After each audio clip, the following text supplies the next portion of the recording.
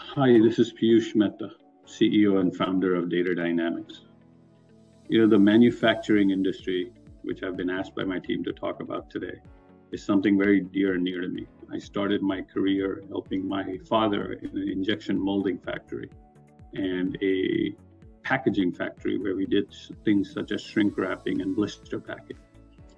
At that time, there were no data points to really collect. We would do everything, and these were manually captured statistics written on a piece of pad with a pen, captured by the foreman of that shift, and then aggregated and viewed via pure manual methods. In today's world, it's all digitalized.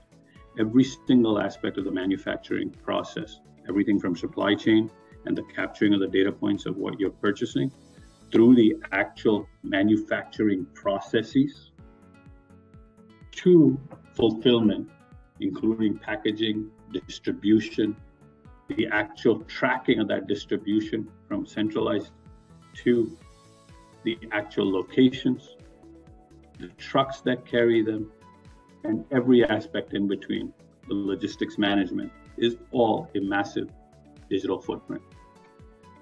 One of the biggest challenges in this arena is to understand what data points you're collecting at each step of the way. Are they protected? Is there information that could be potentially exposed? One of the biggest challenges we see in this arena is IP addresses. As you look at each of these individual elements in the manufacturing process, you end up exposing to some extent an IP address somewhere along the way. That IP address then potentially creates rogue agents and entry point. That leads to ransomware because they could stop your device, potentially misalign that device to cause a faulty outcome. Our ability here to help you understand as data dynamics what you have, where you have it in terms of the data footprint, help you protect that IP address if it's there, potentially take it out of that data lifecycle and ensure that what you're sharing with your partners and vendors in terms of supply chain management, in terms of maintenance schedules, in terms of just tracking the overall life cycle of that equipment becomes far more anonymized and safe and secure is an important facet of our value add.